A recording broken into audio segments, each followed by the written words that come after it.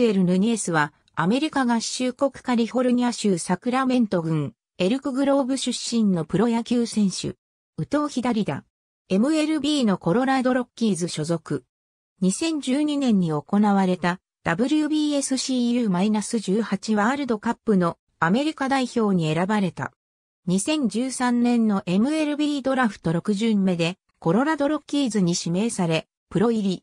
契約後、参加のパイオニアリーグのルーキー級グランドジャンクション、ロッキーズでプロデビュー。55試合で打率200、3本塁打、23打点を記録した。2014年もルーキー級グランドジャンクションでプレーし、46試合に出場して打率313、8本塁打、40打点を記録した。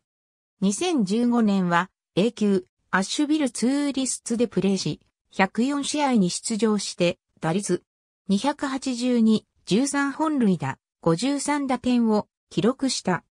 2016年は A 級モデストナッツでプレーし、105試合に出場して打率241、10本塁打、51打点を記録した。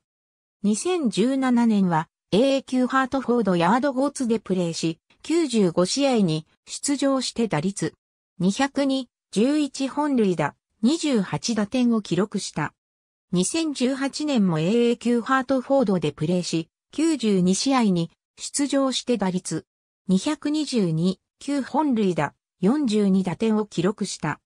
2019年は開幕をトリプル A 級アルバカーキアイソトープスで迎え、打率244、17本塁打、42打点を記録した。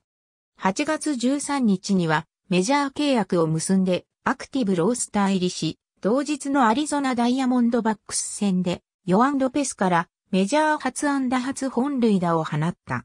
この年メジャーでは16試合に出場して打率179、2本塁打、4打点を記録した。2020年はメジャーでの出場はなかった。ありがとうございます。